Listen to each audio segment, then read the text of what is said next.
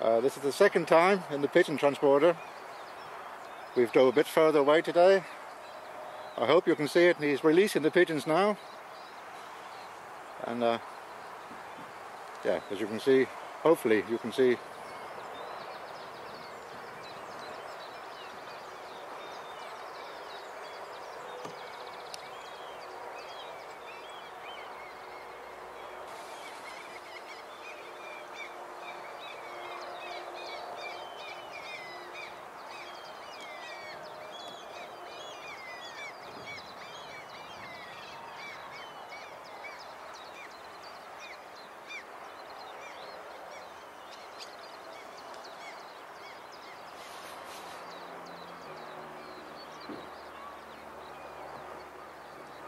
Uh, the first side is released, now he's releasing the other side.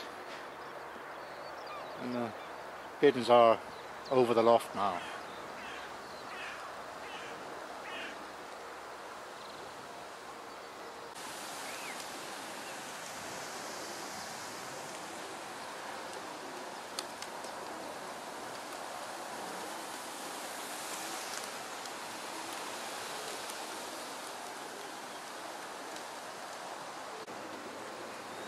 Yes, it went very well. The pigeons have come home. so next week we'll be training again, maybe a bit further away.